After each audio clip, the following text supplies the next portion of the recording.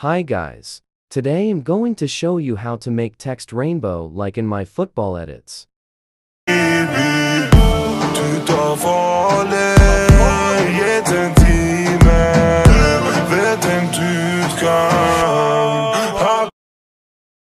First find where you want the text to be. And press text then add text. Next write out your chosen word. And make it as long as needed.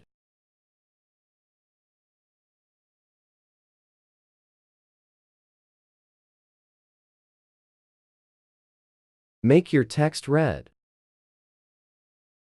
Then add a keyframe right at the start of it by pressing this.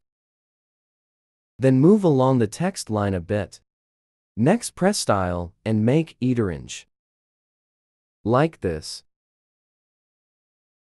Do the same for yellow, green, and blue.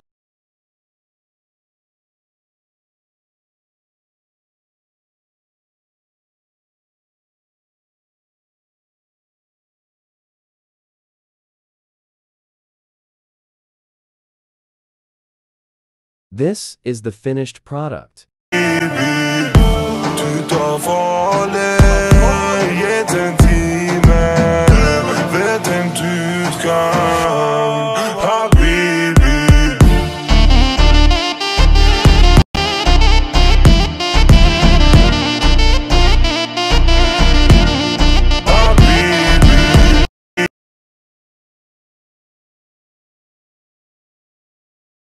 I hope you enjoyed. If you need any other tutorials let me know.